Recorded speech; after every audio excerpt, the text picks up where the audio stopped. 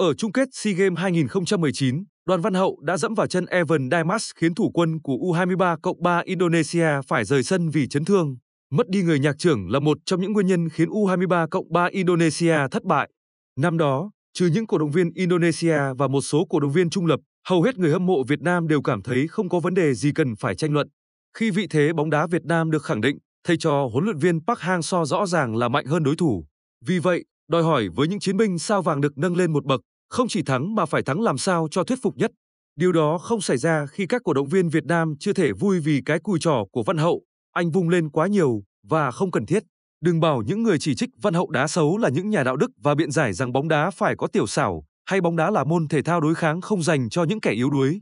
Nhưng xin thưa, thứ Văn Hậu trình diễn trước Malaysia không phải là tiểu xảo hay kiểu lọc lõi của một cầu thủ Nam Mỹ giàu kinh nghiệm, đó là đá xấu và những người xem bóng đá đều có thể phân biệt. Cũng đừng giải thích theo kiểu Văn Hậu đang làm mọi cách để mang về chiến thắng cho tuyển Việt Nam. Kiểu chơi bóng không tập trung và đá bóng của Văn Hậu dường như chỉ có đất diễn ở AFF Cup 2022, nơi vẫn chưa có công nghệ và hỗ trợ. Nếu có va, Văn Hậu sẽ bị xem xét hành vi bạo lực và lãnh thẻ đỏ. Lúc đó, nạn nhân lớn nhất của Văn Hậu chính là đội tuyển Việt Nam chứ không phải đối thủ. Đá như vậy không giúp tuyển Việt Nam chiến thắng, mà chỉ khiến đội nhà nhanh chóng tìm đến thất bại hơn. Nhưng nếu có theo dõi Văn Hậu, chúng ta mới thấy được rằng những cú vung tay quá cao của anh không phải bộc phát ngẫu nhiên.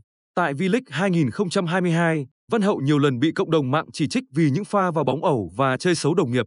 Nhưng các trọng tài V-League không xử lý nghiêm, ban tổ chức giải cũng không có bất kỳ hành động gian đe nào với cầu thủ này.